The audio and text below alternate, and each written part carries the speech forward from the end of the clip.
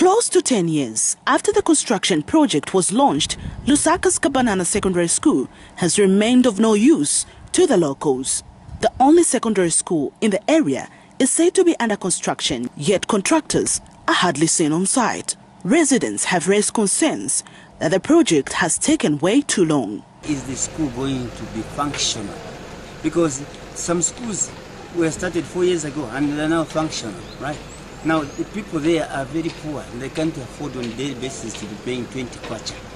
Now, you see, we'd like to appeal to the MP who has never talked about it and possibly the Minister of Education, Dr. John Phiri.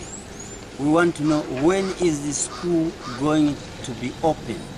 The pupils here have to secure places in Matero constituency and Mandevu constituency where the nearest secondary schools are located. But Ministry of Education spokesperson Hilary Chipango says the school is this Monday to be inspected and that construction works are at final stage and may not take a month before the school is opened. The Kabanana Secondary School would like to take this opportunity to assure the members of the community that um, our experts who will be on the ground, who will be at the site next week to ascertain what would be required so that they expedite uh, the completion of this school because we also do realize that uh, the school has taken a bit of time.